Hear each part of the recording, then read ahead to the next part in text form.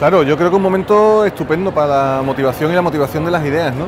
Yo creo que igual que la sociedad, eh, la producción audiovisual se está fragmentando, es decir, o haces productos en plan largometraje muy grandes de alto presupuesto, o haces cosas para moverte por las multiplataformas que vas a necesitar muy poco presupuesto, ¿no? Creo que eso es el futuro que viene. Eh, los dos tipos de productos van a ser absolutamente consumidos porque interesan por igual al consumidor y al espectador y lo único que los dos necesitan la misma creatividad y de luego aquí la hay. Yo creo que los nuevos productos surgen por el nuevo espectador que hay. ¿Quién ve hoy en día la televisión? Tus padres, ¿no? Y los míos. Y tus abuelos el que los tenga. Pero cualquiera, no ya de mi generación, de la tuya, es que no interesa. Tú lo tienes todo en otro tipo de plataforma bajo demanda y tú eres el que selecciona, no es como antes, ¿no?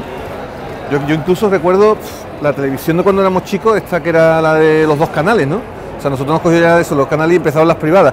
Ahí, eso ya, mm, o sea, que, es que es imposible, es que hoy se lo explicas a alguien y como te crees que te está tomando el pelo, hoy eres tú el que elige, el que coge, el que ve las cosas, el que te informa por fuera de lo que hay que te pueda gustar y vas y lo ves. Es igual que ir al cine, tú seleccionas a lo que vas y pagas por eso. Lo que tienes en tu casa generalmente no pagas, ¿no? Por eso. Pero eh, el nuevo espectador es súper activo, no es como el antiguo de televisión, que si te fijas bien ha durado poquísimo, ha durado 20 años, que son 20 años, ¿no? Los directores de cine salen siempre de tres sitios, de las facultades, de la calle y de los bares.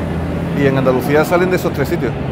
Y van a seguir saliendo, claramente. Las web series que más se están viendo la han hecho andaluces, ¿no? O sea, Malviviendo está hecha aquí, ahora Ortuño y Laura están con treintañeros que está yendo muy bien, ¿no? Hay un montón de ejemplos. Yo creo que por, por modo de vida salen muchas historias, también porque somos muchos, o sea, casi 10 millones, ¿no? Y por otro lado son menos gente pero porque aparte tenemos mucha capacidad de conexión con lo que el público le interesa, ¿no? A todos niveles, en cine, pintura, literatura, todo.